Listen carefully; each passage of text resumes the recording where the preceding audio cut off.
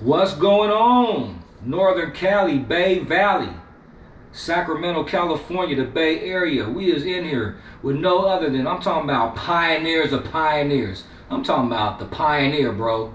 We are in here, y'all, with no other than Mike Marshall from Timex Social Club. What's going on with you, Big Mike?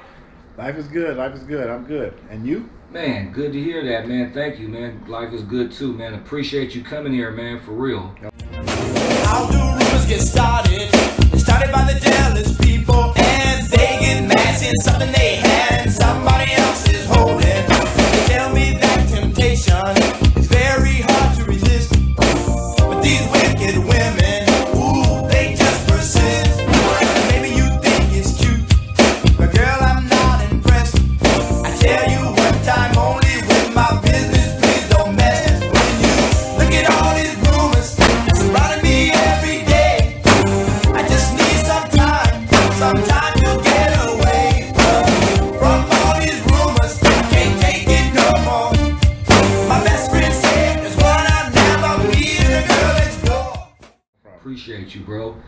We're gonna start off, Big Mike. Can we ask you, man, where was you born and raised at?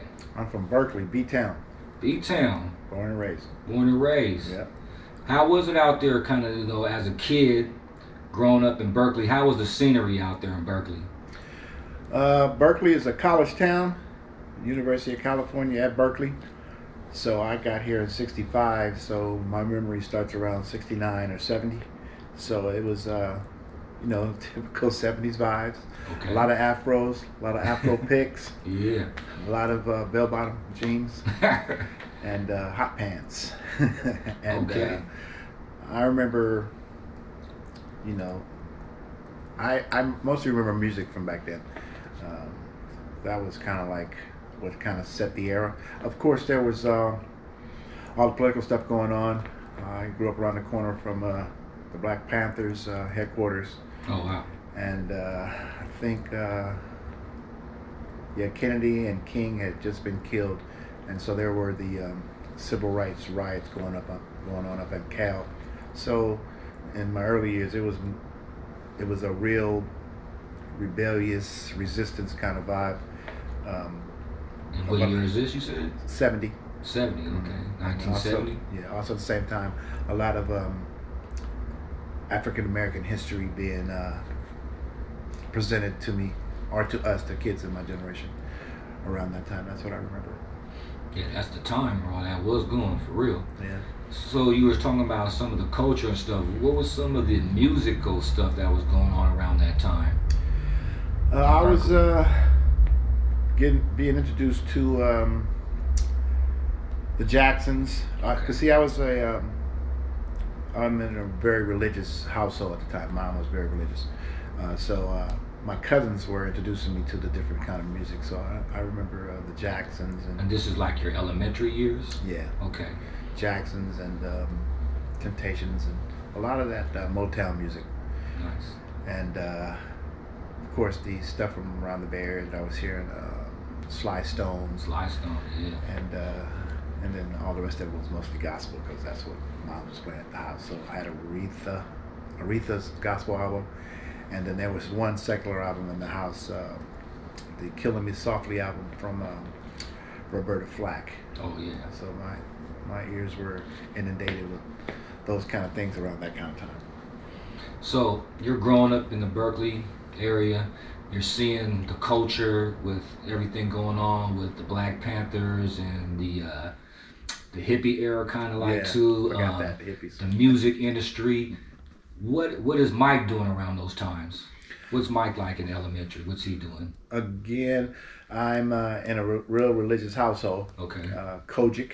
Uh, so uh, m- most of my time was spent uh, around the church. Um, most people think of it as a Sunday thing, Okay. but choir rehearsal is on Mondays, Okay. Tuesdays. So you're youth singing already. Yeah, more my mom was at that time, Okay. and you know I'm, um I was, my pops wasn't around, so mom had uh, all four of us uh, with her wherever she went. So the choir rehearsal, we were there. Uh, and then uh, Tuesday was uh, youth youth night. Wednesday was Bible study, And I don't remember if there was anything on Thursday and Fridays and Saturdays, but then there was Sunday all day. So most of my life was around the church and uh, school. And, uh, you know, I was, I had HDAD, so I, I couldn't sit still. Yeah. And the way it manifested itself was that I would hum and sing. And that got me into a lot of trouble. You know, people weren't understanding what was going on with me, particularly in my house. So I, I had to push through that. But uh, yeah, I hope that answered the question. I got lost in there for a second. So would you say that was kind of the beginning stages of kind of like you wanted to get into music? I'd say subconsciously, yeah. Okay. Uh, the few times I did talk to my dad, he always tells the same story of me beating on the uh, the pots and pans in the kitchen Oh, okay. all the time. And again, I was always humming, uh, imitating any sound that I heard birds, sirens, uh, TV themes. Um, I just was, I, I just always heard music all the time, so I was always trying to emulate it or sing it. Nice. So I mean, yeah, I guess that's kind of where it was subconsciously, but I hadn't made any decisions. little pieces time. of it. Yeah. Okay. So you're going through elementary, Bay Area culture, going to choir and church and stuff with your mother, being kind of seeing the music kind of starting off, um, which is the, the one of the best kind of things like you hear about top singers kind of growing up in the church and stuff like that. So you're doing that, you're kind of building your own, kind of feeling the music out a little bit through elementary years. Now you're in junior high. What's what's starting to happen with Mike now? Um. Well, that yeah, yeah, that's pretty. That's I'm glad you went there. So in junior high was the first time that I sang in a talent show. Okay. There was a class that I took there called um, choral, uh, and uh, I got into it because it was similar to what I was doing at that time uh, in junior high. Now I am in the choir with my mom, Oh wow. and my mom is also the director of the youth choir. So I was doing both. So I was always singing. So I thought I could translate that to the talent shows. So I sang in my first talent show in the ninth grade. So that would be 78. And I decided to do something that I knew and was comfortable with, which was a gospel song. I believe it was uh, by uh, Walter Hawkins and the Love Center Choir. Uh, Going Up Yonder. I sang that. Um, and the kids, they, they didn't like that. they threw batteries at me. Oh wow. Yeah, that was the thing to do if you if you were getting booed. at the Batteries, show, wow. They would throw batteries. Berkeley's crazy, man. Yeah. Dessert. You couldn't throw no fruit or nothing. Had to yeah, you know. but uh, after that talent show, I kind of focused in on this choral class, and I got to learn a lot of um, standard rock tunes that we were singing, and so that kind of opened up another door of hearing a different kind of structures of songs, besides for the chord progressions in gospel music and in R and B. But I also played horn okay. in uh, elementary school. I played uh, trumpet and trombone. Oh wow. So when I got to junior high, I didn't want to lug that thing around anymore. So that's why I kind of switched to that choral thing and started singing. Oh wow, that's dope. So you was playing in the band. How long were you doing that? All through junior high or what? And from fourth till seventh grade. okay. Mhm. So you had a good musical background. Yeah. So with all of this going, you finally did your first talent show, kind of getting your feet wet, getting into this music. Where does Mike start going from there? You're getting ready to do your junior high, getting ready to touch high school pretty soon. Kind of let us know a little bit about that. And what year was this? Um, junior high was 78, seven, no, 77 to 79. I went to a school called West Campus. Okay. Uh, there's only there was only one public high school in Berkeley at the time, uh, so it started at ninth grade. Okay. So seventh and eighth, I went to West Campus. Uh, seventh, eighth, and ninth. Yeah, because I didn't leave to go early to Berkeley. I got there in tenth grade. So yeah, I, I kind of got into sports at that time. Okay. Start playing ball. Um, more being around it, Okay. because when I when I got to high school, I became a sports manager. Oh, so wow. I was kind of starting to kind of get into that realm in junior high. I'd be around the teams. I was always with the football team uh, on their road trips. Um, ball boy is what it was. Yeah, yeah. So yeah, I uh, got close with the coaches. Uh, so I was starting to get a little freedom. You know, I could come in later because of things I was doing after school, uh, find excuses to uh, to stay after school at different clubs and stuff, or whatever I can get my my attention into. Um, and girls, girls started to be a thing then too. yeah. Oh, nice, nice. So, and, and this is uh, ninth grade. Yeah, seventh, eighth, and ninth. Yeah. So when does Mike kind of start during these high school times? Do you start taking music a little more serious, or you just just being a regular student, kind of just touching bases with it? Well, for the record, I, I stumbled into music. It wasn't something that I had planned to do. It was something that I stumbled into, and yeah, that happened in um, high school. When I got to Berkeley High for the tenth grade, there were lots of clubs, tons of after-school clubs, and one of them was um, mixology, a mixology club. Okay. Uh, uh, I had a friend who lived down the street from me named Marcus, and a kid who came from Detroit who lived in my neighborhood. Also, his name was Darian. And we all liked music, uh, records. And so they had turntables where I couldn't have that at the house because I couldn't play any of that music at home. Oh wow. The music I play at home um, would be more soundtrack type stuff. Because I go to a movie, hear a melody that I like that stuck with me, then I go buy that soundtrack so I can play that song. So a lot of instrumental kind of things are uh, top 40 songs that uh, um, were in movies and didn't hit the charts. Um, Like Curtis Mayfield type stuff. Or um, yeah, some Curtis, for sure, Curtis from that uh, movie, I think it was Superfly. Superfly, yeah. Yeah. But then you know stuff like um, Superman, Star Mm. Wars, Oh yeah, yeah, yeah. uh, those soundtracks. Um, what was another one that I really really liked? They're all instrumental stuff uh, by unpopular in my circles Okay. uh, producers and uh, arrangers. But I, I I got into all those things. So uh, the club, where I was in high school, the Mixology Club, this is when I started to hear all the other records. And now I'm a Mike Jackson fan. Oh, I told you, I was getting into when I was younger, so I stayed with him. My cousin, I'm jumping around. He told me not to do that. but my cousin would make me sing "I'll Be There" okay. for her boyfriends who would come over. Come in here, Michael. Come sing the song. So that kind of got me kind of into singing in front of people along with the church. So back to the mixology uh, club. So we were, I was a Mike Jackson fan, and my boy was a Prince fan, and so we constantly was that? spinning records from each other, saying which one was better and who was better, and having these friendly debates. So you were kind of like touching bases on DJing. Yes. Okay. Yeah, and um, that's how I would get to hear all kinds of music that I had never heard before because he was in a in a DJ pool, so we got new records every Oh, week, wow. and then he was excited to show them off. So I spent a lot of time uh, listening to records over and over and over again, learning all the little things that the instruments were doing uh, separately so that I can imitate them. So I'd have to play the song 15 times because I'm doing the bass line the whole time, then the guitar line, then the string, then the piano. Um, so that So kind of you're started my said? in my head. Yeah. Oh, in your head. Okay. Yeah, this is in my head because I'm listening to the records to see what they're doing, and then I can imitate it with my mouth. So I'm just listening to it, singing along with them with the different instruments.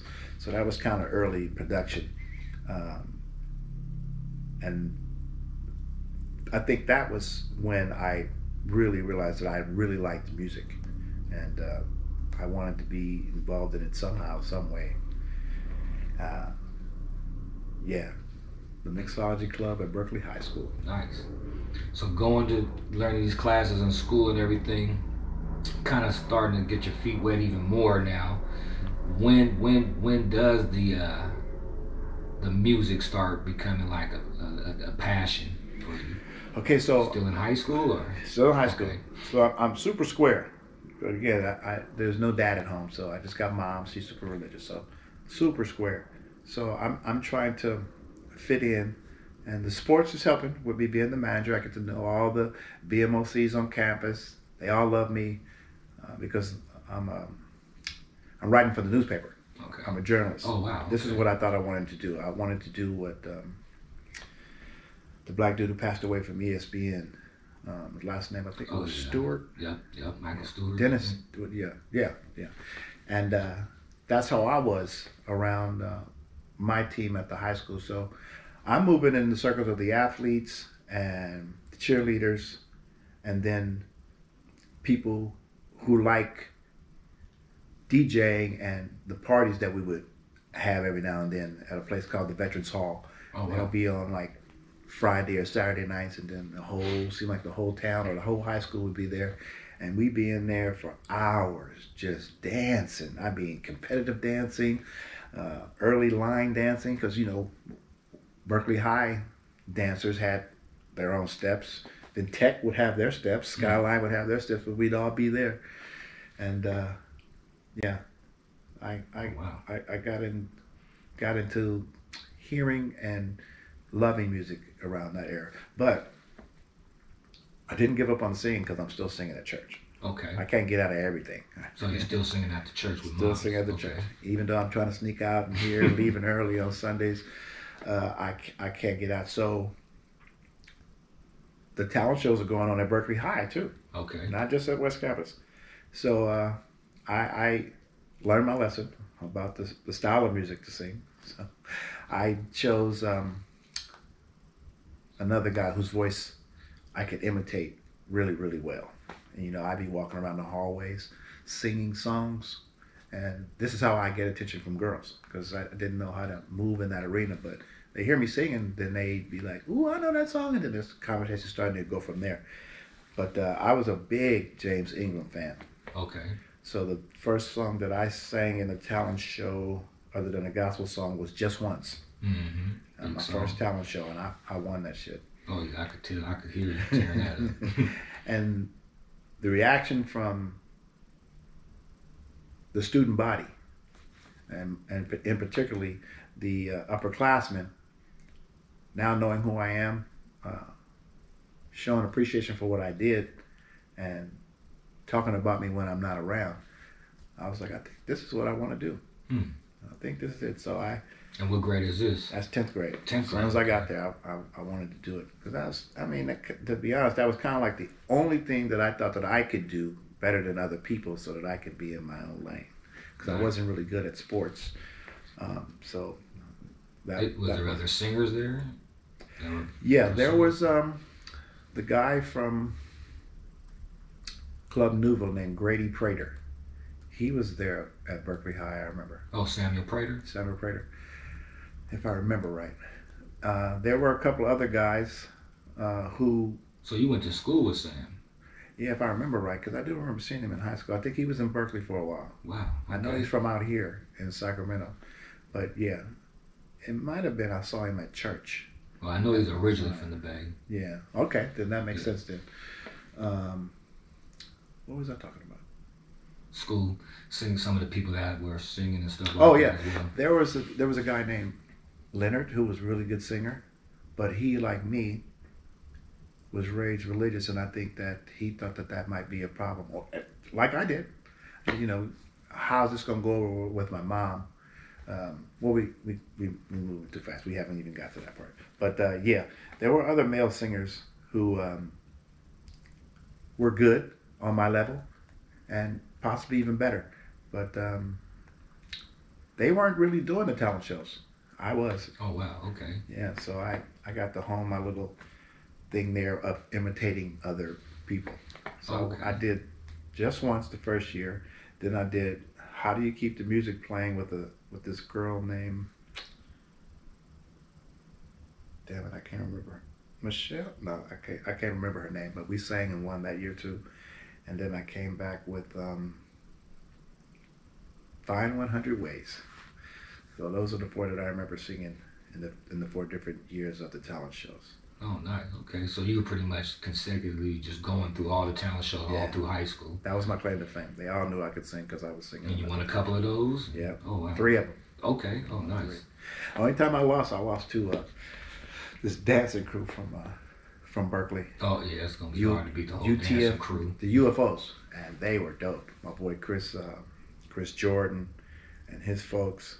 Yeah, it was dope. I didn't mind listening to them. They were dope. they were dope. That boogaloo and stuff.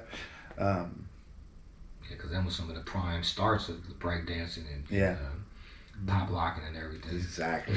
exactly. Yeah, so them was a real pioneer times of that. hmm So, while in that mixologist crew, and this is like my senior year now, one of my buddies, the one Marcus, he he liked writing songs. He liked writing lyrics. He had lyrics for days uh, at his house. Um, he just had books and books of ly- lyrics he would write out. I didn't know. I didn't know what they were really. You know, I knew they were lyrics and they were for songs, but I didn't really get that they were lyrics to songs. You know, because I they I didn't I didn't recognize them when I'm reading them, and they don't have any melody to them, so I didn't put two and two together that this is how a song is done. So um, you had a proper song structure. Yeah. Oh wow. Okay. I mean, I never thought about it that somebody had to write the lyrics that Marvin was singing. I wasn't so into it that I was reading all the back, and when it says written by, I was wasn't tripping on all that. Mm, So. Marcus had lyrics. So he had written some lyrics for something that he called rumors. Mhm. It was it was about lies because you know when you in high school, a lot of the social social in and outs have to do with people talking. You know Mhm. what's happening with so and so, what's happening with so and so, and so stories and lies come, and stories get blown out of proportion. So he had wrote a little diatribe about that. So when we graduated, I moved in with him, and I was going to Laney College in Oakland Okay. taking a piano class. Uh, so in the piano class, they give us headphones to put on and to practice what's in the book. Again, I have HDAD, so I'm able to make the noise that I'm hearing instead of it just being in my head and I'm bringing it. So I got lost in playing, and I ended up starting to play things that I had in my head, working out the bass lines for songs that I knew, playing the melodies of other songs. I can't play with two hands, but I, you know I'm doing it, and the teacher can't tell because I got headphones on. Um, but I passed all the tests because I knew theory from playing the horn Oh yeah. yeah. and I went to a summer camp for gifted musicians at Cal one summer when I was younger, and uh, learned uh, theory. Okay. So there's a song out, and uh, older folks remember it. Uh, Malcolm McLaren. He was an early producer, and what he was working with was turntables. So he was playing grooves and then adding other grooves into it, like a pause, record kind. Of. I have that song in my head. The song is uh, Buffalo Girls. Okay. Three Buffalo Girls go around the oh, outside, yeah, yeah, yeah. around the outside. Remember that? So one of the little breaks in that song is, I don't know where he got it from, but again, he's taking these records and he's getting little pieces and putting them in. So the, the sound that I heard was, bu bu bu bu, and that was one of the little things that he would, bu bu bu bu, bu bu bu bu, bu bu bu bu, bu bu bu bu, beep. Three Buffalo Girls, that kind of thing. So uh, I was learning, I was fooling with that on the bass end. Ba-doo-ba-doo, ba-doo-ba-doo, ba-doo-ba-doo. So I, I was fooling with that. So I brought that melody idea home and tried to make some music to go with the lyrics that he had. We had a little Casio, uh, four track cassette tape. So I put a bass line down. It wasn't that that one, but it was kind of based off of it. A lot of my songs are all kind of in the same kind of vein. Um, but I ended up making four tracks that made sense the bass line, the first melody, and then the hook melody, and then the drums. So that little creation ended up being the song Rumors. So then we ended up giving it to a friend of ours, uh, mo- more of a mentor. Was a guy, a young guy from Cal who was working at Berkeley High School while we were there in the African American Studies department. Berkeley High was the first high school in California to have an African American Studies program Oh wow. with Dr. Navies. So that was pretty much a very popular class at Berkeley High amongst people of color. So uh, this guy we see every day, but then he he was he was into talent. You know, he would be at the talent shows, and I can't remember how involved he was in the talent shows, but uh, he was always around. So he knew that I could sing. So one day in my first year out of high school, I went up there and saw him, and I wanted to play him the song. Wanted to see what I was doing, what he thought about it. And he liked it. He thought it was clever, kind of cool, and so we asked him if we could perform it at the upcoming talent show. We've graduated now, so Okay. we can't really be in it and compete. But he's like, you know, when the judges are trying to count their votes and figure out who actually won, you guys can do a song like a um, intermission kind of thing. Oh yeah, yeah. So we we we cleaned it up on our little Casio four track and did a little almost acapella, not acapella, but unplugged version of Rumors, Okay. and the student body went crazy. Oh? Yeah. And this I guy, can imagine. the, yeah, the teacher's assistant Charles Douglas, I think he saw that, and he's from LA, so he kind of had an understanding of how that music business kind of moved. You know what I mean? So he he suggested that we make a real clean mix for him and let him take it with him over his winter break because he's going to the East Coast, and he said he'll let some people hear it. We was excited. Um, he comes back and there's a guy from Sacramento named Jay King okay. who is excited about that song. And Jay's in L.A. at this No, he's uh, he's from Sacramento, Yeah, yeah. hmm but he came to uh, to, to Berkeley Okay. He- Jay because of Berkeley. yeah because of um, hearing that that song. So he booked some time at a place called um, Starline Studios, Starlight, Starlight, in Richmond. Okay. And so we go in there. He books up uh, two 16 hour sessions.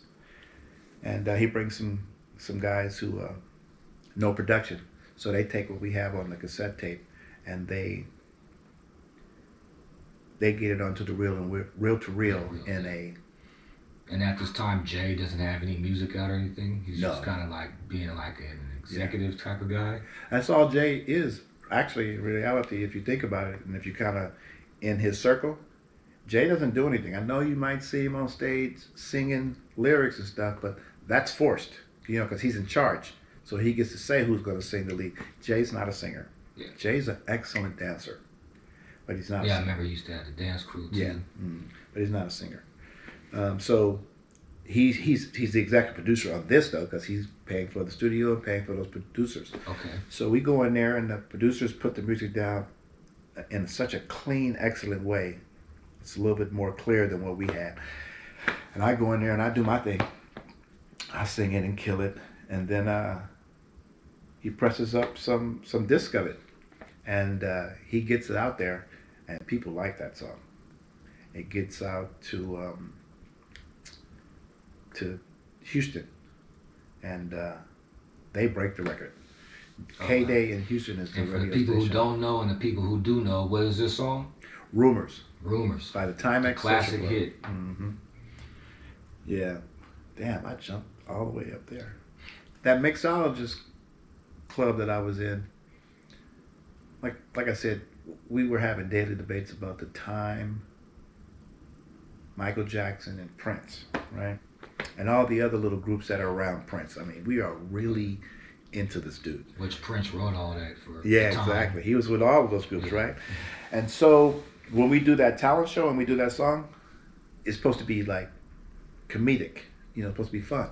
So we call ourselves instead of the Time, we call ourselves the Timex Social Club, Oh, okay. and we're supposed to be plays on those guys like Jelly Bean Johnson, um, the guy used to wear the pink outfit all the time to play guitar.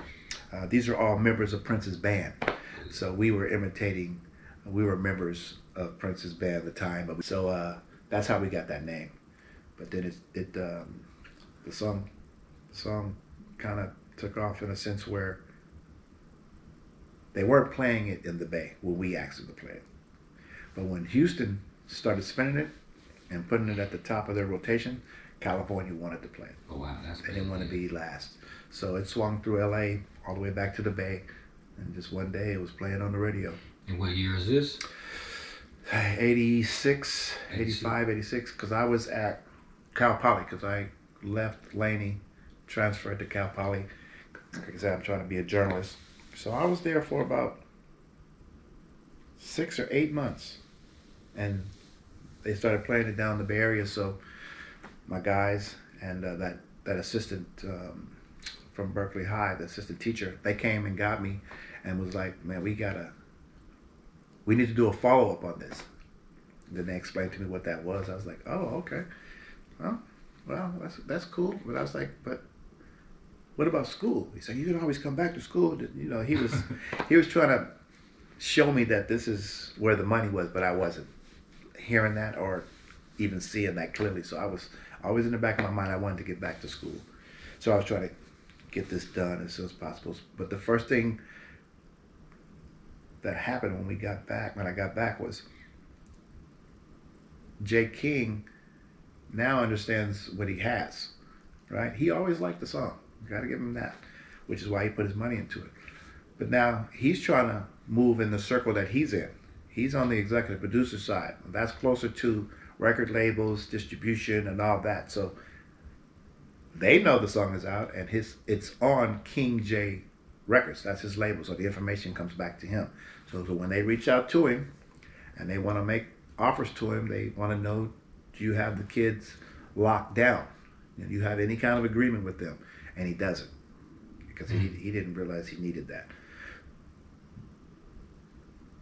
But I think he was in a situation where he was getting funded through some people who would have been disappointed if they found out that he didn't have us Oh. locked down. So he comes to us and he's kind of stressed. And we didn't know he was stressed. But what he did was he offered us um, standard 10 year contract. And if you go back to the 80s and see what a standard 10 year contract is, it's, it's not the business. Okay. business. So I told y'all we were fans of Michael Jackson and the time. And so we were always up to date on what they were going through in the industry. And Mike was having big problems with the label. So in our mind, we were like, well, we don't want to deal with a record company because that turns out to be some whack shit. Let's we don't want to do that. So we told him no, and he he got upset. Mm. By the time he left the house, he told us there in our faces, I am going to tell the public that the Timex Watch Company made us change our name, and I'm going to go get some other people, and we're going to keep pushing this. Oh wow. That's what Club Nouveau is. Okay, that's a story I didn't know. Yeah. So you guys actually turned down the contract that he asked, Yeah, trying to get to you guys, that would have been horrible.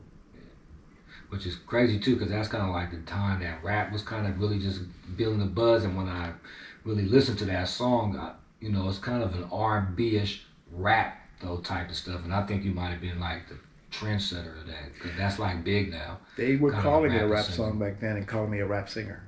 Okay, Yeah. which people weren't really singing though, like how you were doing it. Right. though. They were they were um, So you're definitely comparing it to reggae. You know how the reggae Oh, guys okay. kind of sing? Yeah, Yeah, they kind of got a flow. They it, thought too. that I was Jamaican. Oh wow. when I started getting out there on the road. They say, I thought you were Jamaican. You sound like a California kid. I was like, yeah, I'm from Berkeley. Said, why do you think reggae? Because you, you, you, you sing rapping. And I, I just never thought of it that way. I was like, I know there's a melody in it, and I know it's kind of choppy, but it's not a slow song, so it can't Yeah. really it's a be. dance tune. Yeah, you know? Yeah. And the dance tunes that I heard was all kind of like was, that. That was a, a, all the radios. I Yeah. mean, heavy rotation Yeah. on FM 102. I'm talking about maybe once an hour Yeah. type of thing. That was weird too, man. Your your hometown is small, but the radio station is playing a song all the time by one of the people who live in that small town. That was a blessing and a curse. Uh oh. Because then everybody wanted to know what was going on, and I didn't know what was going on. so I couldn't answer the questions, and that was kind of frustrating. So now rumors is booming in Sacramento, all through California, Houston, and stuff. So what what else starts happening with that song? Um, there's a guy from Walnut Creek named Dave Lucchese, and he had a label called Danya Records, and he had an artist called Dougie Fresh, and they had a song called The Show, Yeah. which is on Actually, Danya that's Records. my song right there, pioneer rap song that helped me get into Mm-hmm. loving rap.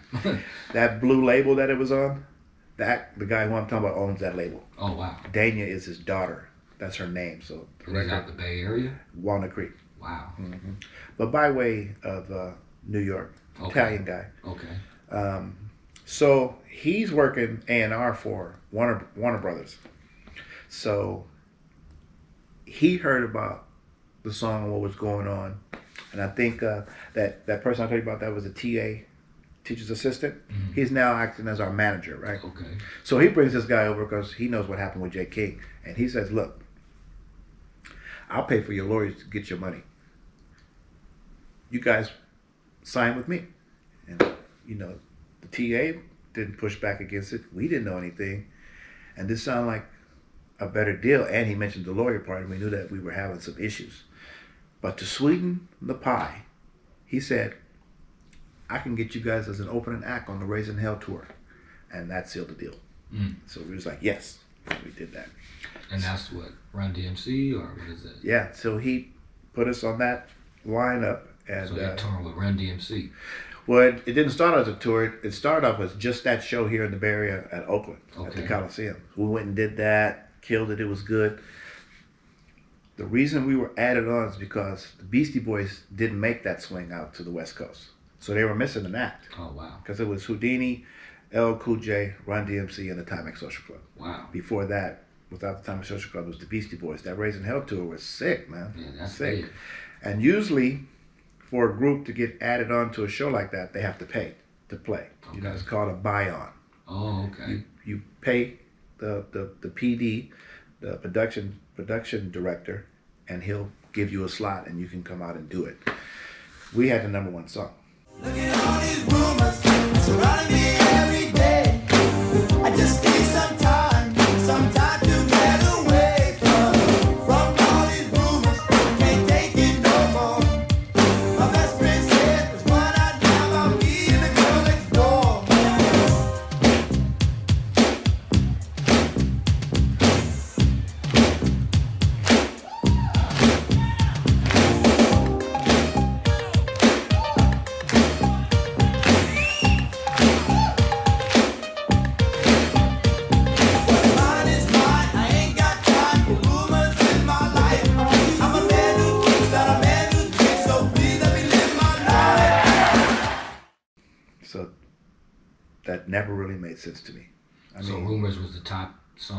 That time. During that on time. The radio and everything. Oh wow. so we didn't have to pay to get on. They wanted us on because we need they needed to draw the crowd in. hmm So that show went well. So uh, they wanted us to come on the rest of the uh, the West Coast swing and the South that they were doing. I didn't get asked that. One of the other guys in the group got asked that, and he agreed to it, and it was binding. So we had to go out there, but he agreed on it at fifteen hundred dollars a night, Even though you're the star. even though we're the, the number one song uh, at that time. Whodini, LL, Run DMC had no song that was higher on the charts at that moment than Wow. Rumors was. Denny was pretty big too as yeah. far as their musical stuff. The freaks come out at Yeah, night, exactly. all of that. Yeah. all that. And who and, and run them too. oh yeah, running them too. Adidas, Oh, my yeah, Adidas, uh, yeah, but- Adidas. But as far as that music, music, yeah, Yeah. Denny, that, yeah. Yeah, that was a great tour, man. Because I got to see them all perform every night. Wow. It was crazy. Um, yeah, so that turned into fifteen dates. That's about And this is all being separated from Jay. This is with the new label. That's yeah. mhm. With Dagan, yes, yes. Okay. mhm. So um, we were so excited uh, when he offered the uh, Raising Hell slot. That's sealed the deal for us to sign with him, but we we didn't really read the contract. I left it up to somebody else, and they left it up to somebody else. And then when we came together, we all just assumed that it had been done. And on that day, in Walnut Creek at a sandwich shop, we signed away our publishing for that song Mm. we had the rights to it. It would be split between us and maybe Jay King because he put the money up. For, yeah, but uh, yeah, that was the beginning of it all going bad. Oh wow. So what's what starts going on from there? Now that that tour is done, the whole thing situation with Jay. Um, does Jay kind of get ready to start his group then, or No, he the whole time we're out on the road, he already he's started? he's starting it. He's trying to figure it out. You know, he he and then you have nothing to do then with uh Club Nouveau. no, except for there was a time where Jay was coming over to visit us. I took him to meet my mom at church and everything. So Oh, he was around. He had this um, either was a Be- Beamer, a Gold Beamer, or a Rolls Royce. So you know he was playing the role of this this money guy. So we we get back off tour and he's trying to put the thing together, but it, before we went out and before there was a, a bad uh, blood between us and Jay, we were sh- sharing our music with him. Um, Marcus had all the lyrics and I had all the melodies. So we were playing them ideas that we had. Okay. Um, so the producers heard the idea I had for a song called Thinking About You, which is the one that I was telling you about. The first bass line, boom, boom, boom, boom, boom, boom, boom, boom, boom, boom, boom. That's how I got that five-note melody. And the other part is just ding dong, ding dong. I don't know where I got that from. It was just in my head. But my buddy wrote the words. I put them together with that music. And I presented that Thinking About You song to Jay and uh, his two producers, Denzil Foster and Thomas McElroy. Yeah. And we talked briefly about an idea for the beginning of the song, uh, like the intro of it, something, something, something creepy, orchestral, Mm-hmm. you know. Um, that intro that guy. yeah, and they, they they did it. I wish that I was working with them when they did that version of the song because I would have killed that song. I mean, it was cool so for what let they the people did. know what song that was. Uh, Why you treat me so bad? Mm-hmm. It's the exact same Classic melody. hit. Why you treat me so bad? Mm, Exact same melody for a, a song that I have called "Thinking About You." Mm. Um, So they took the concept. yeah, they took the concept of a bunch of stuff. They took the concept from rumors to make jealousy. They took the concept for thinking about you to make "Why You Treat Me So Bad," situation number nine, and "Heavy on My Mind." Oh wow. Okay. So most of their stuff was based off what I was doing. And I know I seen it on a, a, another interview you did and stuff. So was that um, was some of that music talking t- towards you or something, or 'cause I know Oh, you know, about it could a lot of like a hip hop battle type thing. A lot of people mention that, but to this day, I've never listened to any of those songs in their entirety. Okay. Um, for one, the quality and the sound I didn't like so much. Okay. The voices and stuff that they, the way they did it, and the voicing of the music, I, I wasn't really. It wasn't the way that I envisioned it, so I kind of stayed away from it. And then there was Because you had drama. created kind of like an original sound. Yeah. You had like an expectation. Yes, exactly. I had a way that I thought it should sound. Yeah. And then, Yeah, of, of course, I know it was Samuelle Prater and Val Watson. Yes, yes, that's right, exactly right. Valerie and I sang in some talent shows together Oh, is that right? because one of the guys that was in the group was dating her, and there was always people on the outside on the outside looking in at what I was doing, trying to put me together with different things. So they wanted me to try to do some stuff with Valerie. We tried; it was really bad. Oh wow. We have documentation of us singing, and it was really, really bad. Oh wow. So I kind of Val, she does her thing. Yeah, her, her and Grady. Yeah. Her and Grady. I'm glad for her. I don't have any any animo- animosity against them. Mine's is all towards Jay. Okay. They don't have anything to do with that. In the business. Yeah, they suffered in their own way working with Jay. Yeah. Oh yeah. oh yeah. um, yeah, so we we get back off the tour.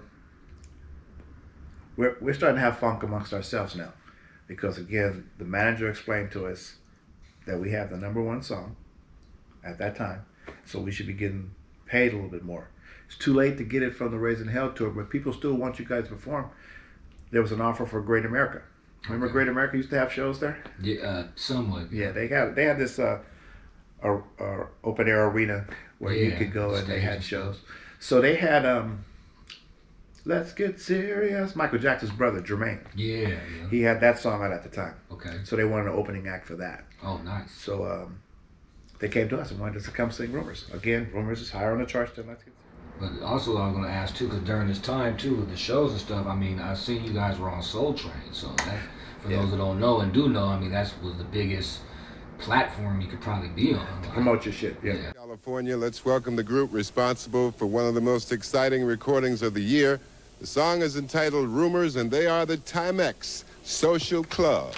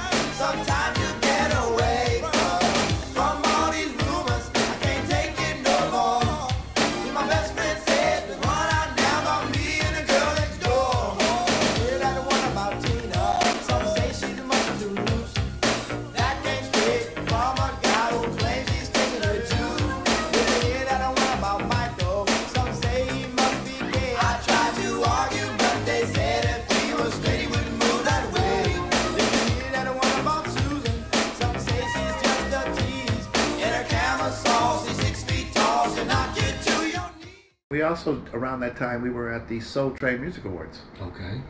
when Janet Jackson won in our category. She beat me. Were you guys uh, nominated or something? Yeah, yeah. Oh, okay. So I got to be in the building and all that. There's footage of me. What was the award for? Uh, best new act. Best new act for Timex Social Club. Look at all these rumors. Yeah, and Wow. Janet Jackson's Control. She won. She won. Control. Wow. Yeah. Okay. Yeah, Well, dang, that's pretty big. that was big. That's huge. That's Yeah. huge. So uh, yeah, um, and so we off the tour. It's just me. And I'm doing that album. So I I work with a guy named Jay Logan. Can I? Sorry. Can I ask what year that was with the uh, Soul Train, Soul Train Music Awards? probably '87. Eighty-seven. Yeah, all of this happened between '86 and '87. All the stuff I just told you. Oh wow. It was one year whirlwind. Um, yeah, so um, we're back off tour. We did the Soul Train. We did all that. So yeah, so I'm in the studio working on the album with a guy who they put me together with um, named Jay Logan. Okay. Another Jay. This one was a good Jay. And so he helped me do the um, album that I have called Vicious Rumors. All Mm. the songs I wrote. There's a couple of covers on there. Yeah. Oh wow. Because uh, after that, we went on the road to go perform at. Um, it was a restaurant owned by Ashford and Simpson. Mm. They invited us out there to go sing. You know, because the because the, the white dude, Dave Lucchese, he's you know reaching out to people because he's got us. Okay. He has us signed down and he's got the right to that song. So he's trying to promote it because it's all over the radio. So he got us into a show there. So we put the, a band together, some players around Berkeley, all older than me, and we went on the road and did maybe six or seven shows. And my background singer for that was two girls also. One's name was Gina. We went to high school together. And the other one was Dominique DiPrima. If you're old enough to remember a show called Home Turf, she was the uh, the host of it, Okay. based out of San Francisco. Dominique DiPrima. She's also a uh, radio personality down in LA. I Oh, think nice. on um, Stevie Wonder Station, KJLH. I think Okay. that's what it is. Nice. Nice. Yeah, So so she was making some moves herself. yeah. And, and again, it was the manager reaching out last minute for people who wanted to be involved. And these were people who I knew. So, um, yeah, so we went out there and did those shows, and we got stuck for a little while too. Because, you know, my manager, he bumped heads sometime with the, the record label of Dave Uh-huh. Lucchese. So we're out on the road, and, you know, the dude is funding it. Something happened where my manager and the record company disagreed on something. But my manager, it was could be aggressive. He was from LA. Okay. You know, he was he, he grew up with, with the gangs in LA. Oh, okay. In fact, when we went down there for that um, for the Soul Train thing, I remember meeting some guys from the Hoovers. Oh yeah. And so they came around the car and they were singing rumors, but put Ho- Hoovers in this. And look at all these Hoovers. I was like, oh wow, got some gang members that's kind of in my corner. Oh, it was a trip, but yeah, it was um, pretty popular. So anyway, they bumped heads, and so did the record label. Was like, okay, well you're on your own to get home then. So we were kind of stuck out there. Oh wow. Luckily, we uh, we were with Dominique DiPrima. This is on the East Coast. We're in New York now, and her father lives in Newark. Her father is Amiri Baraka, Mm. the guy who's um, the Newark riots. He was involved in those, another civil rights thing that was going on back in the day. So yeah, we stayed at his house for maybe two weeks. Really appreciated that because we would have been stuck. So I spent two weeks in New Jersey in the summertime. That was an experience. That was fun. but yeah, after I got back, um, that's when Club Nouveau's album came out, Okay. and it was so similar, and that kind of uh, threw me for a loop. I wasn't expecting any of this, and how it was supposed to be, but with them taking my music and now putting it out, and the radio playing it like immediately, I was like, oh, look, I think they're about to take my place. Mm. But I didn't fully understand what that meant or what it entailed, but it was enough to make me depressed. So I, I got wanted to ask too, not to cut you off too, while we're in that same zone. Um, you're talking about the Hoovers remaking Hoover. Uh, look at all these Hoovers. Yeah. During that time, I wanted to ask about for those who know and don't know uh, the Bobby Jimmy and the Critter uh, remix. Yeah. Rumors of look at all these roaches. Yeah, I never met him, but uh, we were excited when we heard that song.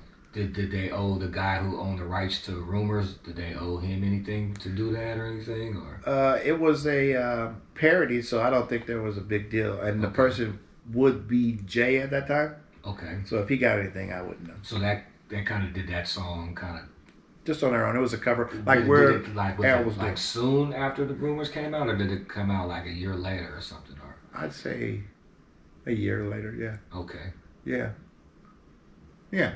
It wasn't immediate. okay, okay. So sorry to cut you off. So on that. Shout out to Bobby Jimmy and the Oh, Critters.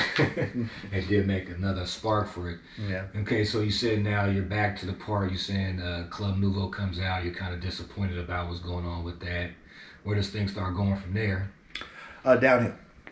I'm I'm depressed, and people see me all the time. It's a small town, and they have questions, and I don't have answers. But you know how people are. I was gonna say kids, but we weren't kids, but uh, we were moving like we were kids. Though. But you're in your 20s, though, right? Yeah, yeah, twenty. young, I'm yeah. twenty. Yeah, that's young. But they they making it. Just you know how cats be, uh, making light of it, making fun of it. Oh, you're not gonna get your money? They took your money. Just just every day I'm hearing this. So um, I, I'm I'm fully depressed now, and looking for peace. I stumble upon drugs from a friend. Uh, one of the guys who was in the group for the look, uh, but wasn't really doing anything. He was um, in my neighborhood, lived around the corner. So we hung out a lot. One day he introduced me to um, two things. One was MDMA, I think it was. He said it was like a horse tranquilizer or some shit. And I was just like, Mm. and you're gonna smoke that? I thought that was wild. And then the other thing he had was was cocaine, but it was in crack form. But he didn't say that because they weren't calling it that then. Uh, so uh, that was my first time trying that. And then from This that, is still 87 or no, this is 88? 88. Yeah. And so I dabbled in that for a little while. Um, but it wasn't a regular thing, a routine. It was just something that I dabbled in with him once. And then when I was somewhere else, uh, maybe six months later, they were doing it, and I recognized what it was. So then, uh, and this is early. This is the '80s, so this is when it's still kind of Yeah. a social thing. You can do it Yeah. out in public. So we had house parties and niggas just doing it while we playing dominoes. So yeah, but then the shit started calling a nigga, and so then it was more often. So I wanted to do it more often than that circle of friends who I was with. So found another circle of friends. We started to do it more regularly, and then they started to be like, "Nah, this is not the business." So I had to shake that circle, which are my friends, and try to find another circle because I'm not gonna go out there and do it by myself. Mhm. Again, from the, the from back, I'm raised religious. There's hella stigmas to all of that shit. Um, look looked down on in some satanic way. It's, it's more complicated than that. And so that stuff's in my mind. So now it's calling me and I can't seem to stop. And so the depression gets worse because now I'm like, oh shit, your friends don't seem to be having any problems with this. What's wrong with you? You must be weak, bro. It's because your dad wasn't there. You're weak. So then that just sent you just tumbling. So I was, I was out there, out there bad for a while, on and off, and then the last five or six years of my addiction was when it was bad. But uh, yeah, I was, I was, I was surviving. I wasn't broke, and I wasn't spending my money that I was getting on uh, dope like that, so that my money was wasted on dope. Mm. Turns out, the TA from the high school, the manager, he was he was taking my money. Oh wow. He talked me into getting a dual bank account, double signatures. He would come over every Monday morning, have me sign a bunch of checks while I'm half asleep. Oh, hung over because it was on the on the bench the night before, and sign all these checks. And then he asked me how much I need. I take that and, and use that throughout the week to get high. Um, but yeah, he ended up taking a lot of the money that I they said was was mine. But the thing about that, besides for the, the management, it's a cold world. so the manager takes I get two hundred two hundred and seventy two thousand dollars. Mm. That's what the IRS says uh, was attributed to me with um, pay stubs and what BMI was claiming that they sent to me. But I only spent sixty-two thousand when I did the math of all the things that I had did. So where was all the rest of that money? He was he was taking it. I think he believed that we were going to get it back because I was good, and he could see that. So he was putting me with these different people, but he was he was really controlling. So what he wanted, what he wanted actually was um, Bobby Brown. Mm. He wanted me to sing and to dance. Oh, wow. I, I couldn't do both of them at the same time because I'm really serious about my singing and staying on note. If I hear a bad note come out of my head, that's gonna throw me, and now I'm forgetting my lyrics because it, it's happened before.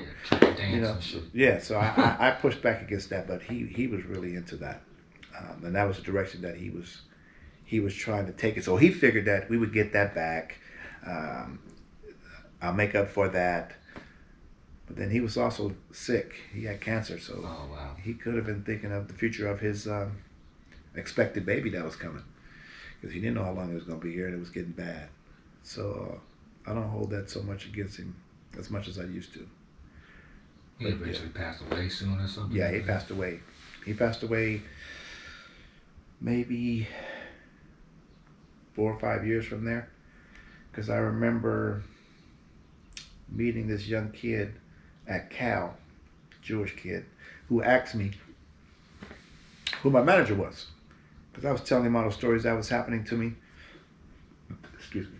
And so his parents are lawyers, and that's how he came out here. His parents were teaching at Cal at the the Haas Law School. Mm-hmm. So I was telling him what's going on. He's like, you know, this, this, this, and this, and this, and this, and you can't, and they can't, and blah, blah, blah, blah. You know, you can fire your manager. I was like, I can fire my manager? That's how much control he had over me and how naive I was. I didn't understand how the world was working. My mom kept us so sheltered, bro. So sheltered that I, I, I just was thrown out into the world, into the music business of all things. Oh yeah. Square is a square. Super square. It was it was it was ugly. You was blessed though because you had that spirituality, you had your Mhm. mom's prayers. And Mom's prayers.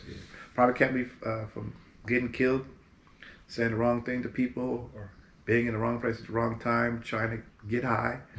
Because, like I say, it was still kind of social. So I'd roll up on the spot with my music loud and hop out the car with the car running. And yeah, it was crazy, man. It was a crazy, crazy time. You pushed through. You did your thing though. Yeah. So now we're like in the early '90s and stuff. Now, where where's things starting to go? Where where's Mike at now? After you know messing around with the streets and everything, and uh, So I'm trying to manage my addiction okay, and figure out where money's going to come from. Because the royalties are coming in. Um, they couldn't find me. They, Oh. they didn't know where to send the money because before my manager was dealing with it all. Uh, so I wasn't getting any checks and I just thought it was over. I didn't understand about publishing and how it goes on for pretty much forever. Um, so I started working with a guy who I went to school with named Anthony Gilmore. You guys know him as Tone Capone. Okay. And Tone is doing yeah, he's doing production for all these rappers, and uh, he likes music like I do. You know, he's got all these old records. Um, he can't play as well as I can with the piano, but we kind of bond uh, making music, and so he knew that I was looking for money, and if I was going to have to go work, I couldn't be there to do what he wanted me to do with this music thing. So I got into singing hooks for the artists who he would have over. He'd hype me up with them, tell them what song I did, and the kids knew it, and you know, I, it was kind of a big deal for most of them at that time because they were young, and that was already an established hit um, coming out the Bay Area. So they give me an opportunity. So I, I was singing on people's songs for money uh, for a while, and any, then. any of those songs come out or do anything? Or, Uh, yeah, I did. Um, I did hella songs with Three Times Crazy, okay. Um, Sunshine and the O. Suckers pass through with their crew, wishing and they wonder if they can have a town like mine. The OAK, where we chill and parlay in the sunshine. Breaking holes, flashing gold,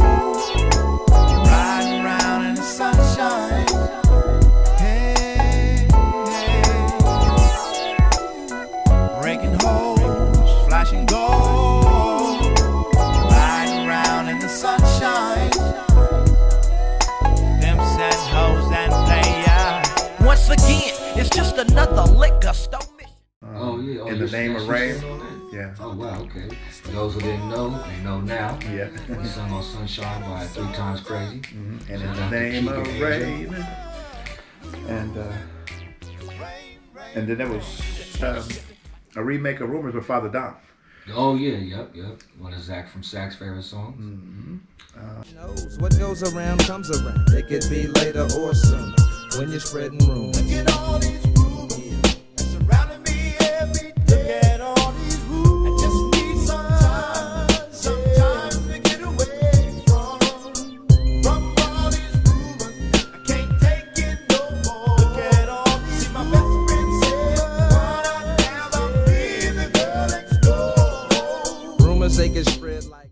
Anyway, that was that was kind of how I was moving. So he had this new group over, and Tone knew my history of how I was feeling that Club Nouveau had took my thinking about you and, and was now getting all this love for why you treat me so bad. He had these young kids come over who brought that record why you treat me so bad and wanted Tone to sample it, and they had a song idea for it. So Tone hit me up and was like, Mike, here's a way that maybe you can get publishing on your song through another one. See, we we'll we'll do this one, and then Jay won't get any of the publishing in this, and we can all split that publishing. That's what the idea was. We didn't understand that uh, if we were going to sample, that there is a chance that he could.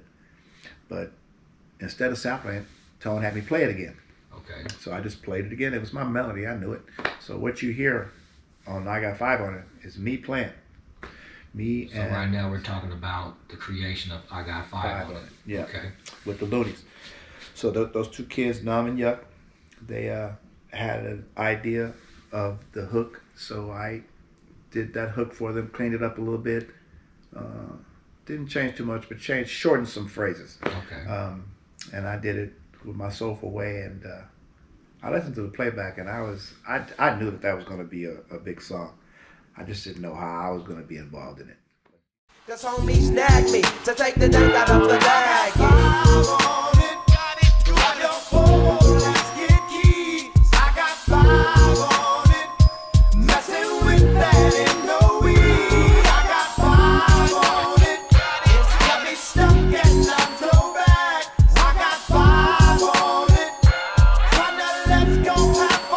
I take sacks to the face. you could hear that what those kids were talking about and the way that they were saying it it just made too much sense i said this is this is this is gonna be a hit man but Classic. but i'm Top using weed song of all time, probably. but i'm using and i'm an older they in their eyes i'm an older older dude so the powers that be in that situation, the Luniz, Chris Hicks, some other people, money people, they didn't really want to hear what I was talking about.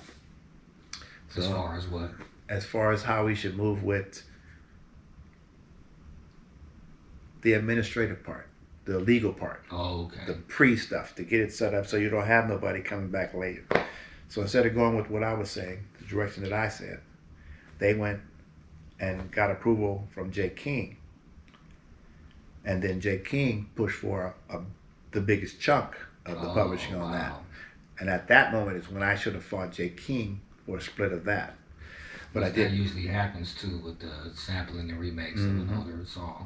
hmm If you don't get permission, right? Yeah, if you don't. Yeah. But uh, I learned the way to go about that where you don't have to do that. If you include Jay King as a writer and a publisher and give him an equal share, he can't ask for more Oh. because I mean that's fair. hmm That's that. But most people, Yeah, because it's a whole nother song. too. yeah, most people do it first and then Based go try to give you permission. originally created. Exactly. But I hadn't fought for it, so there was no record that it was mine.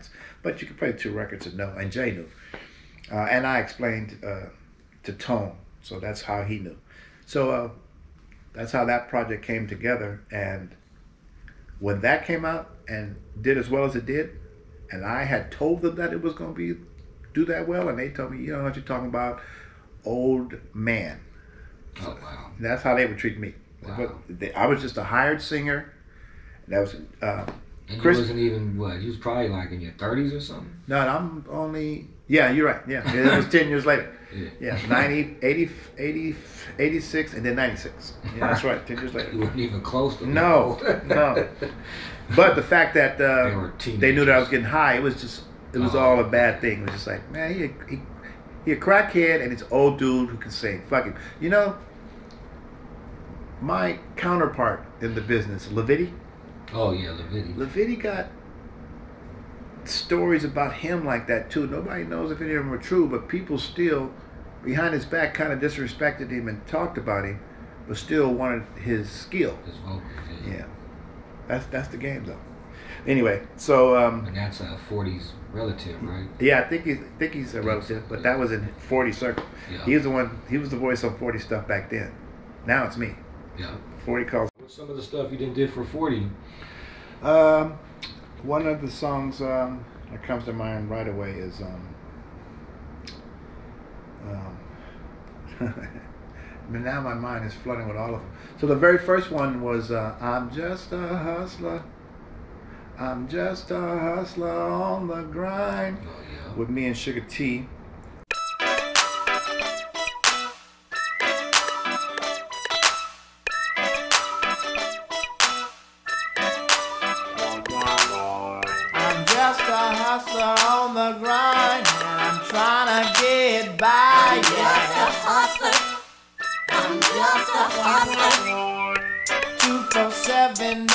shrine is blowing my mind. And this is the way it goes. Super bad diva from a plush type perspective. Grinding, upgraded skill, saucy boss checking. And then I did one called um, It's the Way I Was Raised. hmm And then there was, man, there's, there's so many of them. The good Lord called for my granddaddy to come I home.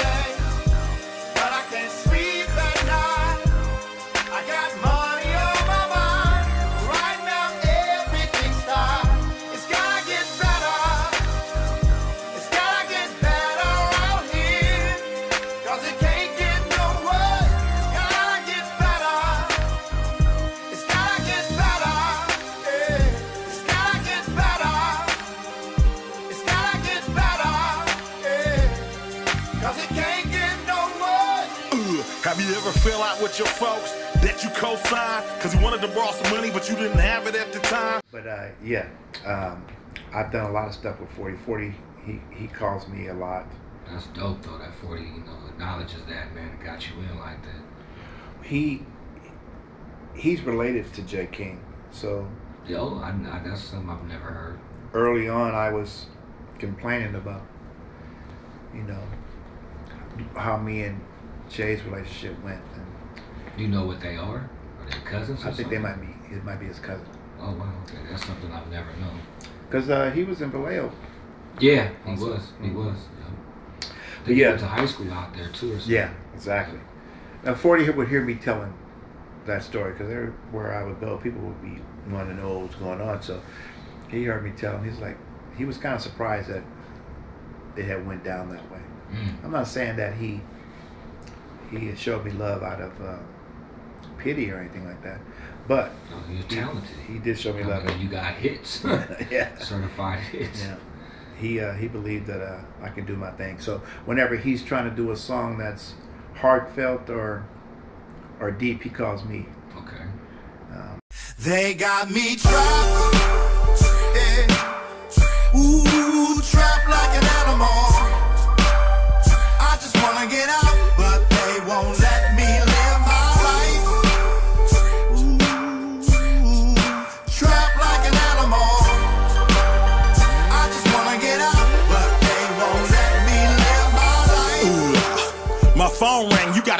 Call from an inmate in a federal prison. Pork chops, chitlins, ribs, and bake. Fucked around and got addicted to swine, which wasn't supposed to be. Now we love it in our mind. A delicacy. I was born in the struggle.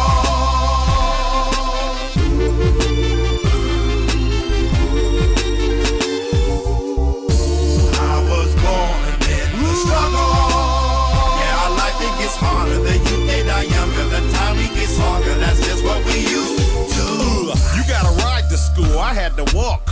Dress don't foil, foil. Reach in the cabinets and grab some sweets. I'm some out sweet here oil. in the cold. in the cow. Feels like nobody knows, but can't they see me? Lord, I need some help. I need some help, Lord. I pray today's the day that Today's one the of your angels finally looks down and sees me. Look down on me. Cause I need some help. I need some help. Spit it, Maisie. I'm out here in the cold. In the cold. Feels like I'm all alone. All Lord, can't alone. you see me? Hey, Cause I need some help. I need some help, Lord. I pray today's the day that one of your angels finally looks down and sees me. Look down and see me. Cause I need some help. I need some help.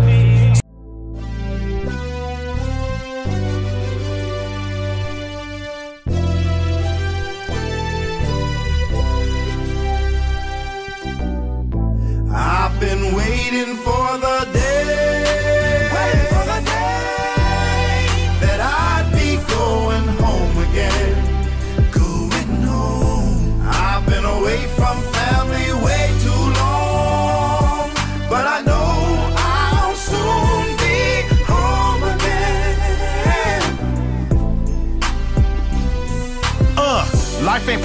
tomorrow, that's what they say. Look what I say, life ain't promised today. A lot of folks out of work right now, Latin, white, and black.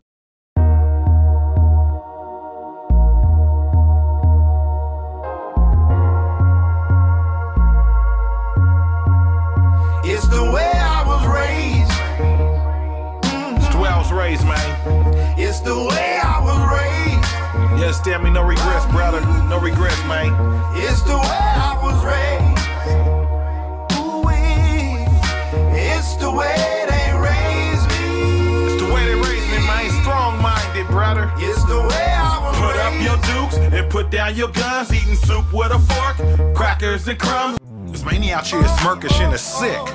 Everybody out here carrying pack a pogo stick. Life for us is just different round here. It's different. Your life is much different round here. Uh, But we don't give up.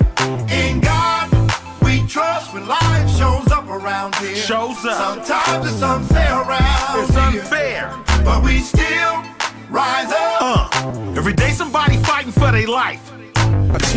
But just don't know the 40 watt about that Gangsta folk, that's what it is. Better go and ask somebody. 'Cause if gangsta folk is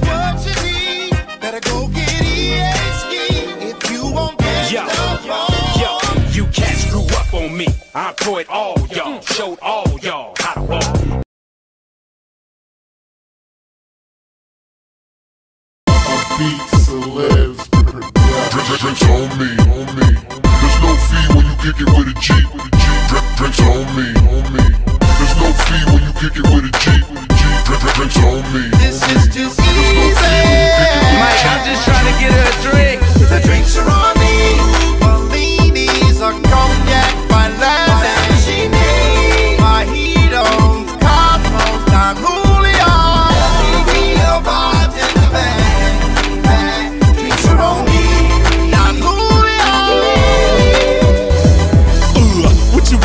want? Some Jaeger bombs? What you think? How about some Landy candy? 40 snooze You look as scrumptious in that short skirt, your body go to work. Girl, you know you're wrong and I'm right. You oughta let me lay pipe. I promise I hit it right and last all night. It's been a while, I'll be gentle. I know your coochie probably tight. Yeah. So after uh, working with Tone in those years, the I Got Five on the thing, then that took off, and I gotta tell you this story. Okay, '95, I Got Five on it's out, taking off.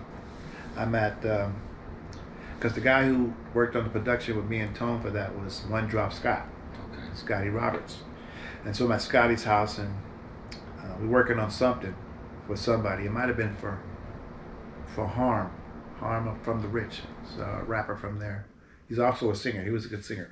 What was his Um, name again? Harm, Harm from the Rich. Harm from the Rich. Mm-hmm. Okay. Uh, so we over there chopping it up, and he has a friend over there named Lori. Lori's in there, and she's telling us about uh, her life in Germany because she's over there. She used to be here in the '70s. She was in a band with Bill Summers with with um, One Drop Scott.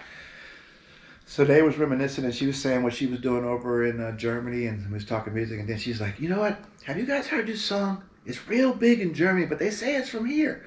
Um, something about I got five on it about weed." And we all started laughing, just like you just did. It's like, "Yeah, we know that song." So then we tell her that we were the ones who did it, and she's like, "You know, that's the number one song in Germany right now. Oh wow. I can get you a gig in Germany." Two weeks later, I'm in Germany. The Luniz can't get in.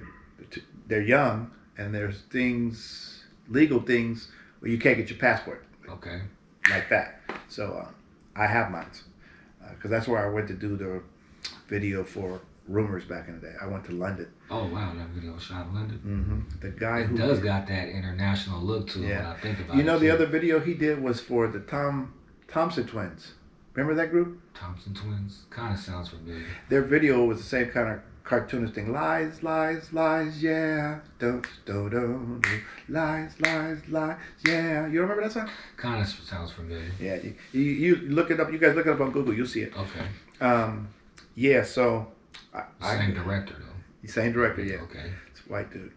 Um, so I, I go over to um, Germany, and I meet this black dude from the South who's been over in Germany by way of the military since '65. Um, during the war, they were there. You know, Germany. Um, America has a huge pre- military presence over in Germany. A lot of bases. Yeah. So there's a lot of Americans walking around, right?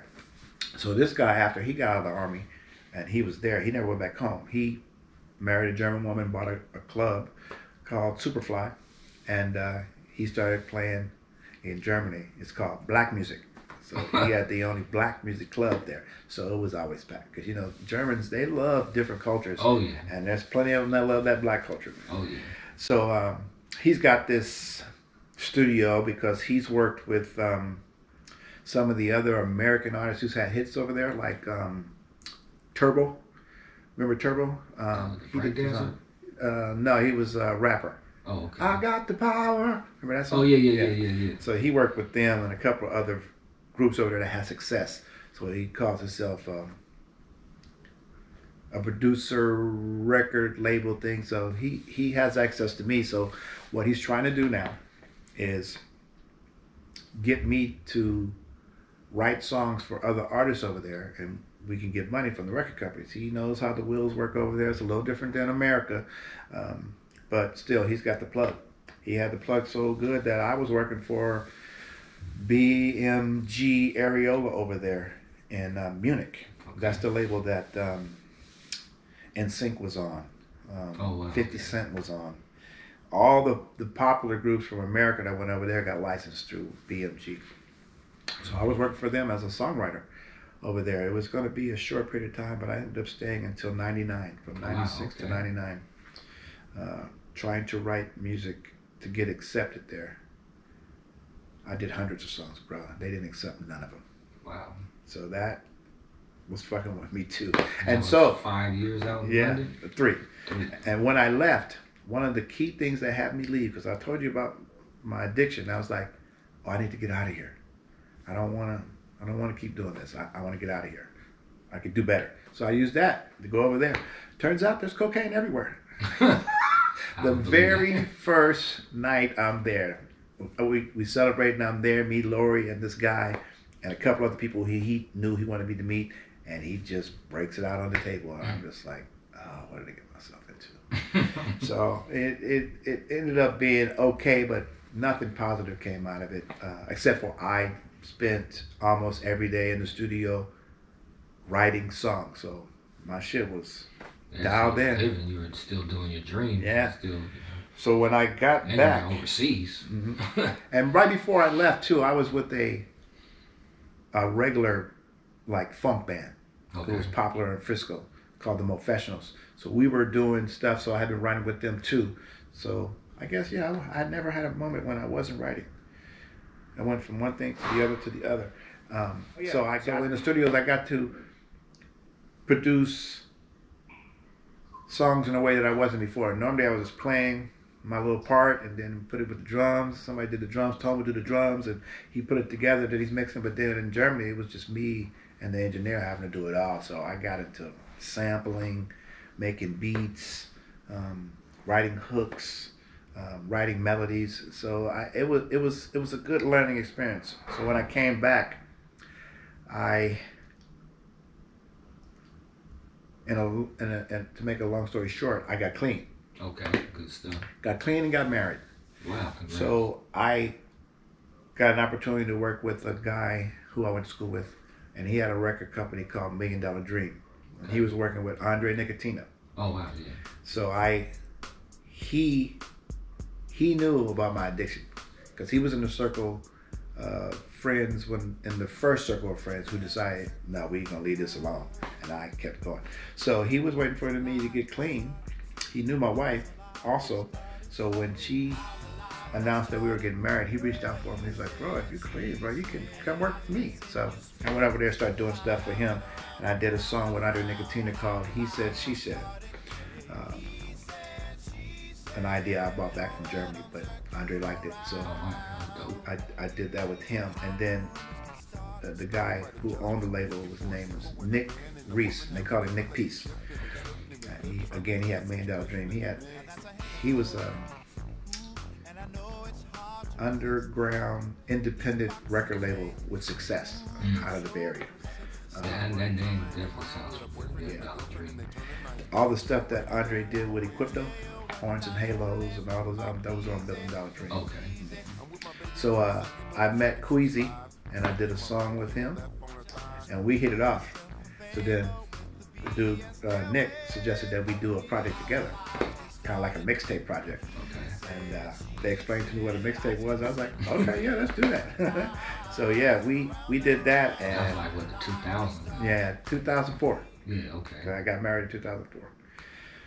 Um, yeah, so we did that because um, Nick took me on the road with Andre and Queasy to introduce me back to people. This is what the idea was. You've been gone a long time. You didn't change your name from Michael Marshall to Mike Measy. People don't know who you are. Let's let's let's see if we can do that. So I went on the road with them for about two years, on and off, with Andre, up and down the uh, West Coast. Uh, never too far towards the South, but mostly uh, Seattle, Portland, Oregon. Uh, three three places in each one, and come back down to the Bay.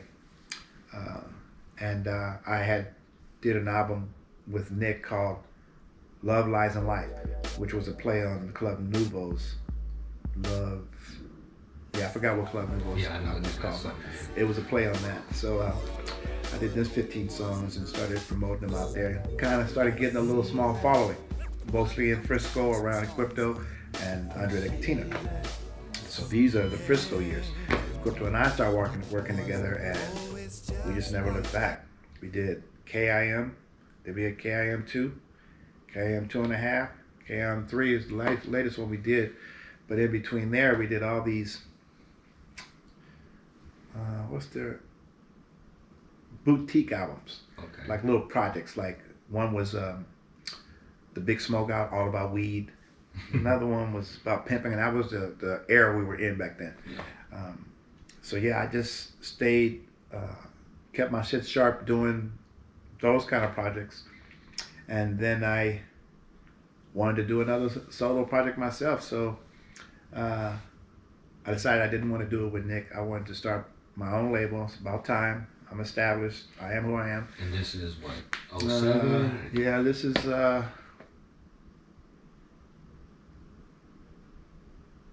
Yeah. 08. 08, okay. Yeah. So I did a project called Soul of the Bay. Mm. Got all And the this is songs your together. first solo project? First solo project. Nice. Uh, on my own label, because the first Your solo own label. project was uh, the one with Nick Peace, Love, Lies, and Life. Okay. And so I did that soul debate thing, and My name is Michael Marshall, aka Mike Measy. And what I'm gonna do right now is tell you a little bit about me. Because everywhere I go, somewhere in the cut, somebody's asking,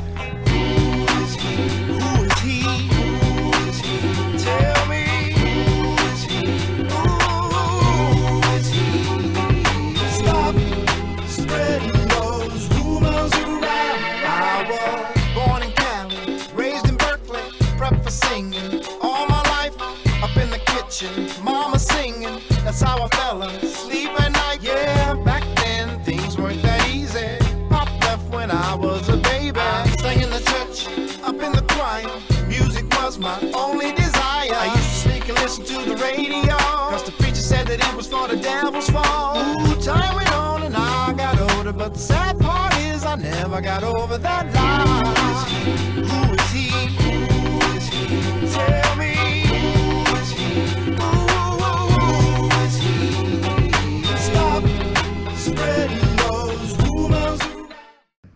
Was my first time going and getting all the songs from the producers. Get, making sure all the credit was there, not just the credit on the back of the record, the ones that's got to go to BMI and the Library of Congress. So I learned all that stuff, and that's how I learned that that thing I was telling you about earlier. With you don't really have to pay thousands and thousands of dollars to clear a sample if you, from the beginning, include the artist and the publishers of the thing that you're sampling in the, the credits. Mm-hmm. Like I, I, I covered a song from Prince on the album that came after Soul Debate. So this is like 2010, 2009. And it was a cover of She's Always in My Hair. I thought for sure that was going to be a big issue. because it's Prince, you know what I mean? Oh yeah, because I you ain't heard too many Prince samples. Exactly. But I included him as a writer and a publisher, and they gave me permission. Wow. And the same thing happened with the song that Biz Markie tried to use um, before he did uh, "You You Got What I Need," because that that's a, a cover too. He tried to do um, "Alone Again" um, from Gilbert O'Sullivan. "Alone Again," naturally. Uh, I covered that song and I did the same thing with him, and he agreed to it. Sent me a letter. It was like, bro, I love the version. Blah blah blah. The same thing with Oh, that wow. San Francisco song we did just recently for that movie, Last Black Man in San Francisco. Mhm. You know, that was um, 20, 2020 maybe. It was Okay. before COVID, so maybe 2019. Oh wow. Okay. Yeah. Uh, I covered a song from uh, Bob McKenzie about San Francisco. If you're going to San Francisco, that old hippie song. Yeah, yeah. I think uh, they redid that too for a, a Yeah. song, uh, uh, San Quentin, in I believe. And that's where I heard it the first time, right? I knew the hippie or version. something too, some type of movie or something. That's what I'm talking about. I was I was in it singing my version of it. Oh, okay. The last black man in San Francisco. Oh wow. It is this house. Our house. That's not your old house and that's not your neighborhood. Hey, if you're going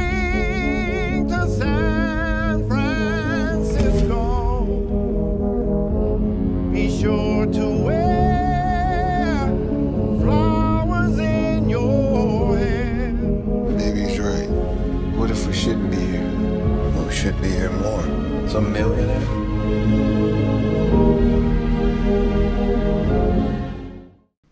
I have the publishing on all the things that I did, so I, I try to get the songs in movies and in commercials because that seems like the next the next wave of what I'm doing. Okay. Because that's how I make my money now on sync licenses.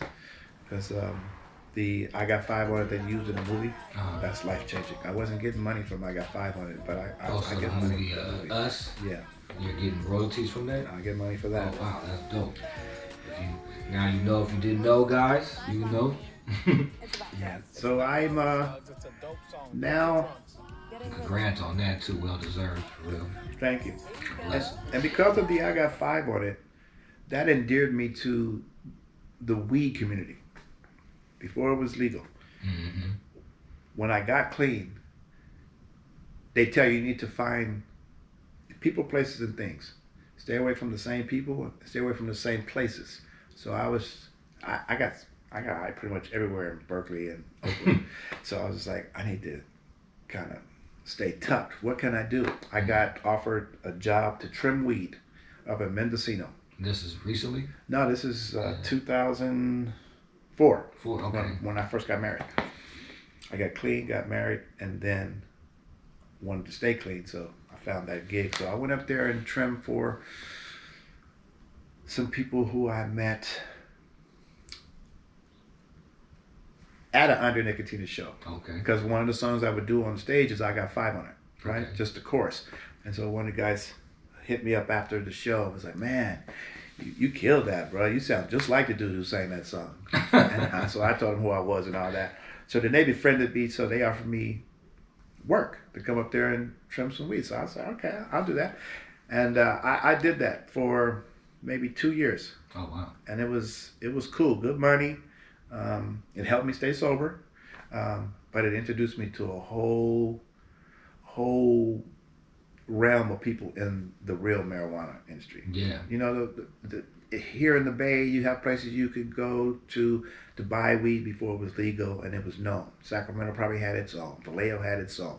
Oakland, Berkeley, Frisco had their own. But where they were getting their weed from was Mendo and Humboldt. So yeah, yeah. I'm right. up there That's now where in the, that was the the capital. best. Yes. That's probably some of the best in the world, mm-hmm. maybe. I'm up there now in the capital learning how to grow weed. Oh wow. That guy who said at the show, you know, you sound just like that dude, became a, my best friend. Wow. That's and uh, he was a cannabis botanist. Okay. so I learned under him and at his knee. So the next four years, he let me sharecrop on his property. Mm. Then he was going to get married, and the woman he was marrying had two kids, so he's going to move them in. So he needed the space that I was in.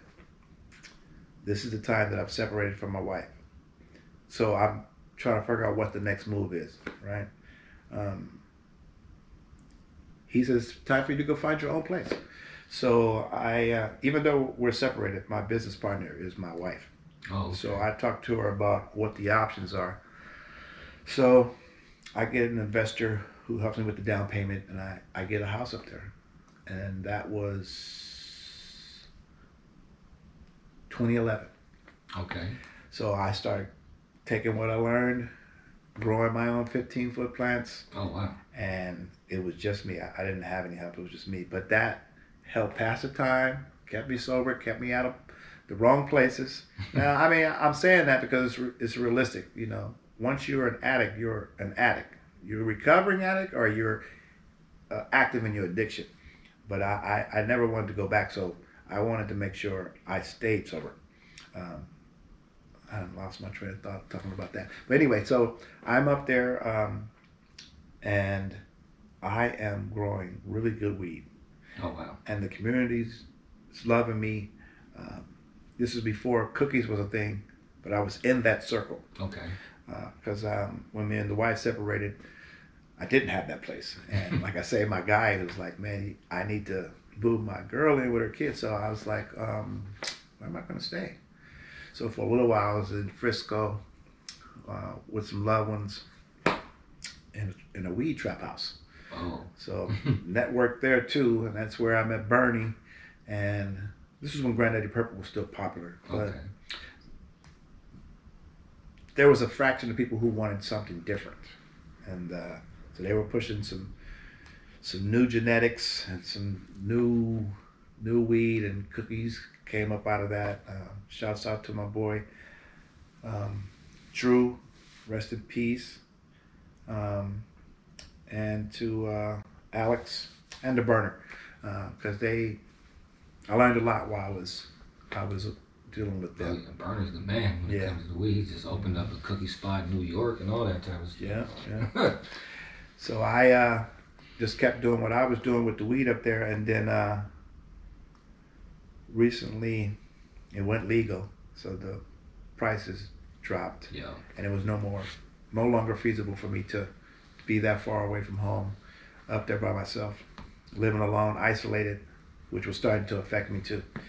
Um, so I recently moved, sold that place and moved to Stockton Oh, okay. and that was 20, 2020. Okay. Active on my uh, my social media places, pumping my stuff I do, and me and Queasy are constantly doing albums that people still don't know about. it's just Something going crazy. now, right? We're trying. We're trying. So what are some of the other stuff? I also want to put out there how you know how we met. You know Mhm. what I'm saying? I, I I know you've been doing shows and stuff. Shout out to uh, Zach from SAC and Since I- booking you and doing some shows and uh, That's how I, know I you got found some that other stuff going Yeah. on. The thing about the internet is that uh, people do reach out for me still to do hooks for them. People who don't have names, people in other states and other countries, I'll do that. And then there are people like Zach who uh, have these little shows, and I wanted to introduce myself to Sac. Sac don't know me. Okay. Sac knows Club Nouveau and Jay King. And so many people from SAC associate Timex Social Club with Club Nouveau Yeah. as if they were the same thing. Yeah. And if they were still the same people. And they look me in the face and don't know who I am. Yeah. So And that's one of the reasons why, another reason why we wanted you here today to kind of like start kind of letting the people kind of know about that, which I learned some stuff today as well by me knowing Jay and, and Mhm. Sam and Val. Yeah. Really the Sam and uh, Jay, but Mhm. um, you know, to, to give that separation to let them really know what the, the full story was. I know. appreciate that too. Because we I, I think appreciate that will help. That's why um, all my stuff is tight, publishing wise. So if people get into it tomorrow, 10 years from now, publishing's still coming to me. It's all good. I would appreciate people check it out because I, I don't I don't really make garbage and I don't talk about no bullshit. My stuff is for grown-ups. Can't take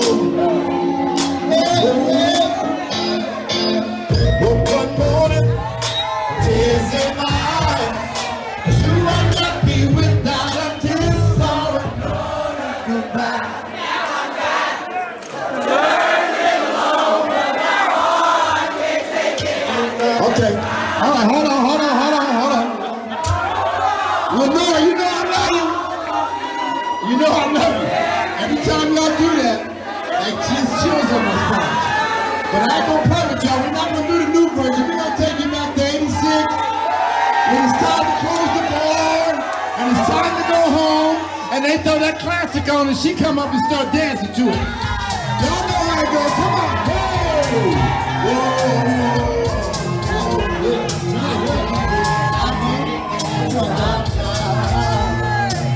No, I forgot of the words. I'm gonna need some help tonight. Come on, sing it with. How did she go?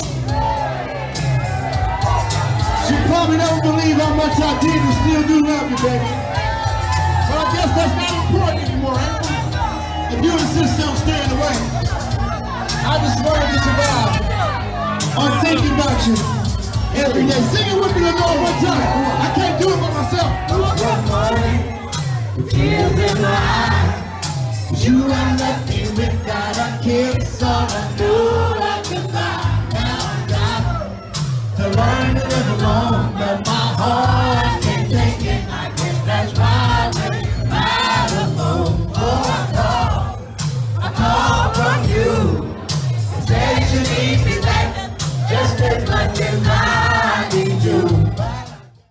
people in relationships because most of my stuff is about relationships. And that's what we need to hear. That's what people need to hear. ah, shit, man, I love me some women. I don't know what to tell you. I, so, I come from all kind of angles, and uh, I, I got a lot of good songs that I like to do, and it's some good music. I, I, I suggest you go look it up. I got a website. It's michaelmarshallusa.com, and Okay. all the links to all the stuff that I do, videos, interviews, the the uh, hooks for hire stuff. All of them is on there. also can see you on No Vultures for those who didn't get a chance Yeah. to check that out. Shout Make out sure to them too. They did a good job.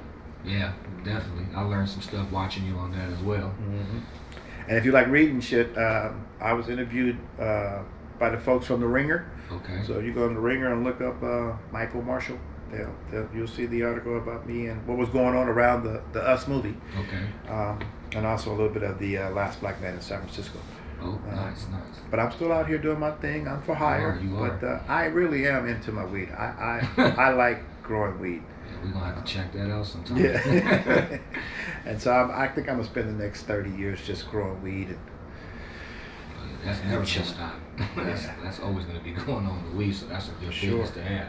for sure. Though. Is there anything else, Mike, you can kind of think of that you might want to tell the people that you people might not know? Anything you think of? Um, not Mhm. off top. I, I kind of was kind of thorough with it. I was trying to remember everything, Okay.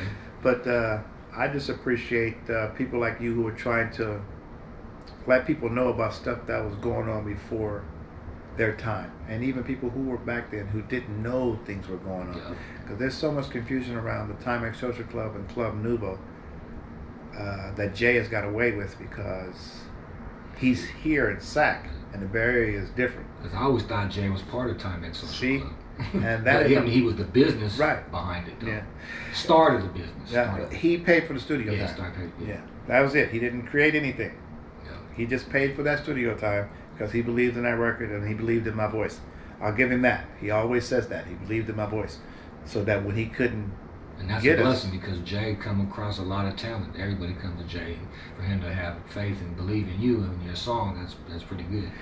uh, But I understand where you're coming Now listen. When Jay met me, he wasn't doing anything in music. okay. I put him into the industry.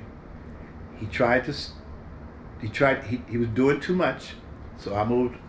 I spun off of him, and what he does is goes and propagates this lie that he still has the creative force behind rumors, and that he's moving in another direction. Mm. Now, that's a big deal because Warner Brothers gave him a lot of money.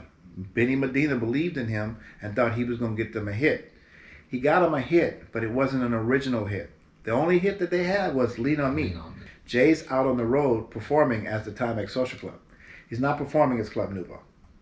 When the, when you hear that the Timex Social Club is coming to town, it's never me. Yeah. It's always Jaden now hmm singing my songs, and that that used to bug the hell out of me to the point where I got heavy in my addiction. But now, And, and, and we appreciate everything that you done told us, Mike. Um, you know, that's the reason why we have you here today, man, is because we want to let you know that we appreciate all the trials and tribulations, all the success, everything you had to go through, you know what I'm saying, to uh, teach us something, from us to learn something, and from us to take from and, and learn and, and, grow from.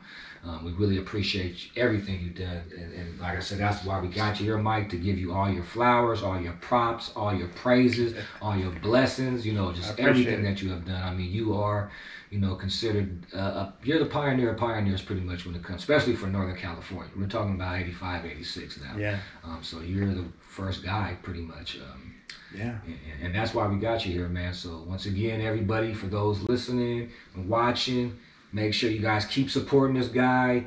Go back and support everything and continue supporting him.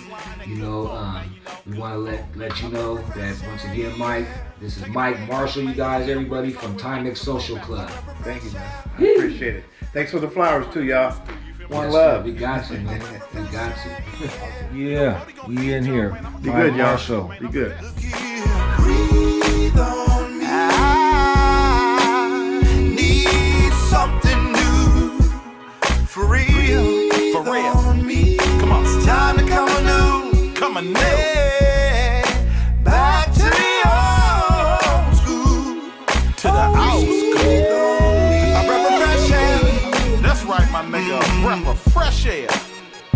A breath of fresh air, yeah. I hope y'all feeling alright right now, man. You know, cause I'm damn sure is. A breath of fresh air. I'm on this good alcohol, yeah. understand me? That oil, man, you feel? A breath of fresh air, yeah. And it's fresh air, even though we got broccoli in the air, man. We put it in the air where it's fair.